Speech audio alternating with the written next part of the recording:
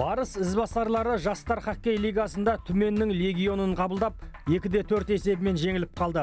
Алғашқы кезеңде есеп ашылған жоқ. Үзілістен кейін қонақтар қарқын алып қатарынан екі шайба соқты. Сосын қарбарыстар сапынан иван верещагин арадағы есеп айырмасын қысқартты. Үшінші кезеңде түмен жастары нәтижені еселей түсті. Барыс балалары бірден қарымта қайтарды жеті секундтан кейін олег бойко мергендік танытып матчты қыздыра түскен еді.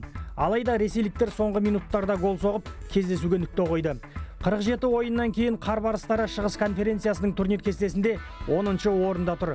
Бүгін командалар қарымта ойын өткізеді. Первые два периода мы провалили, просто были не готовы. ойынға дайын болмай шықтық. Сол себептен алғашқы екі кезеңде қарсыласқа есе жібердік. Матчты тәуір бастап келе жатыр едік алайда екінші кезеңде ойынымыз жүрмеді. Тіпті кездесу тағдыры осы кезде шешілді. Қатарынан екі шайба жіберіп алдық. Сосын қарымта қайтару қиындап кетті. Шайбалы хоккейден қазақстан чемпионаты да қыза түсті. Көш соңында қалған астана қарымта ойында құлагерден бестек есебімен есе қайтарды.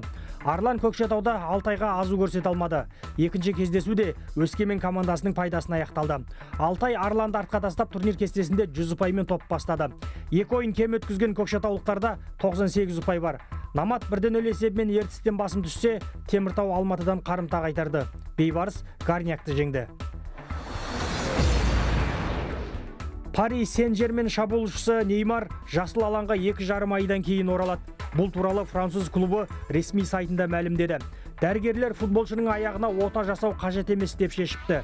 Неймар Франция кубогында Страсбургке қарсы ойында жарақаттанып қалған болатын. Шабуылшының оң аяғындағы өкше сүйегі сынған еді. Енді ол Чемпиондар лигасының 8-де бірінші финалында Манчестер Юнайтедке қарсы алаңға шыға алмайды. Петра Квитова Санкт-Петербург Open турнирінің ширек финалына шықты. Чехиялық теннисші Белорус Виктория Азаренкадан 6-да 2, 7-де 6 есебімен басым түсті. Матч 1 сағат 41 минутқа созылды. Квитова енді Вероника Кудерметова мен Донна Бекич жұбында жеңіске жеткен спортшымен кездеседі. Петра Санкт-Петербургтегі турнирдің қазіргі чемпионы екенін айта кетейік.